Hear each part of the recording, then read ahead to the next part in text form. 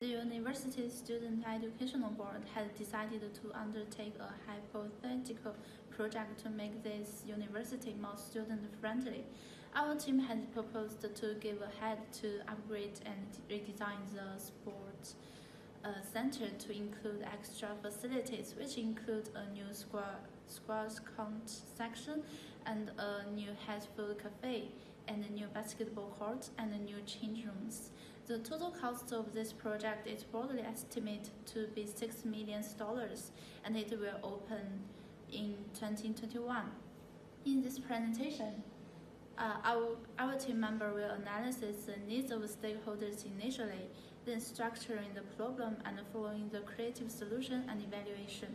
Finally, the diffusion will be shown. Let's, let's talk about the stakeholders' needs analysis. This stakeholders analysis identifies the individuals and interest in the project outcomes. Early contact stakeholders could be taken to effectively uh, manage their interest and ex expectation through the project. Stakeholders in this project are shown in this summarized table. The stakeholders face different challenges due to their position, social views, emotional, and so on. Their barriers are shown in the last row, which means only if the assumption is achieved. The stakeholders will satisfy the project outcomes. The project needs to control their budget, address all student needs, deep research, and less interruption for the environment. The benefit stakeholders can get a uh, can get are things like reputations, place to exercise, and improve the student experience. Sometimes the all stakeholder requests can no, not be satisfied due to their requirement are unreality or hard to satisfy. Therefore, we identify the key stakeholders and achieve their requirement firstly. The key stakeholders in those who have a high impact on high impact on the project and who interest and support our project. Because those stakeholders are all to have power have high power to diffusion. Therefore, we categorize their interest and influence in this diagram. After the specific stakeholder needs analysis, we apply the rich pictures to think counter situation thematically, and we categorize all stakeholders into three parts. The red ones are the opponents who against these projects. The green ones have a natural position, and the black ones are the supporters of the, project. Therefore, we, we were primarily interested in red and the green stakeholders and utilize another red picture to capture the emergent solutions according to their needs and concerns. This is to change their position and let them support us. Hello everyone. So the next session we will introduce about the rank of the stakeholder. So here is the table. As we can see, um, the major stakeholder is ranked from top to bottom.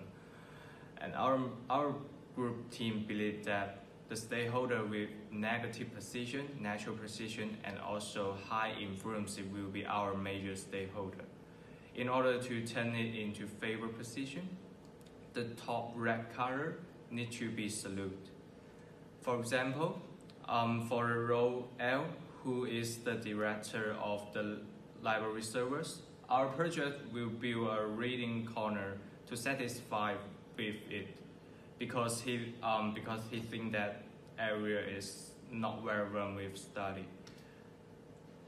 So um, for deeply and for the another deeply analyze, we have the WES um, diagram, which showing about the um, which showing about the chair and the what position um, between the state uh, between the stakeholder and the chair of the stakeholder will be our will be also considered as our major stakeholder.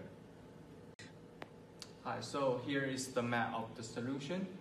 Um, our major solution is showing um, at red color. And as you can see, a detailed proposal will be proved in our project. And um, a setting reading corner, as I mentioned before, um, a change, um, a change.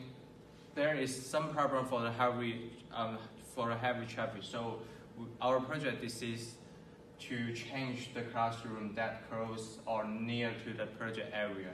And also we have another mention. Um, we will have a try on it. Um, we will have a choice on that. Um, is to use the bus to connect between the area and the station. So um, yeah, and that is our major solution of the project. We should focus on E and H as they have high impact and low cost. The results would be fruitful if we can schedule our budget and target on these groups of stakeholders to maximize the profit with limited resources. It should be noted that moderate efforts should be devoted to A, B, C, and J to since they have high impact despite high cost. Nevertheless, a limit should be set to avoid dangers of overly demanding expenditure. It is also noted G and D has low impact and low cost. We should keep them engaged at minimum cost. No resources should be targeted at F and I simply because they have low impact and high cost. Effort would be fruitless. Firstly, we draw a social network to determine G and G are key stakeholders.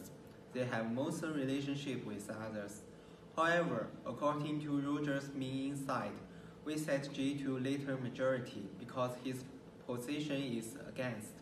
In this process, we find G have special growth relationship with D, H, F, P, M, so we decided to salute earlier majority parts concerns first. Then they will separate and uh, explain our approach to each other, reach the purpose of diffusion. Due to the limited information, we only emphasize the potential relationships between golf team. This is all classified of stakeholders.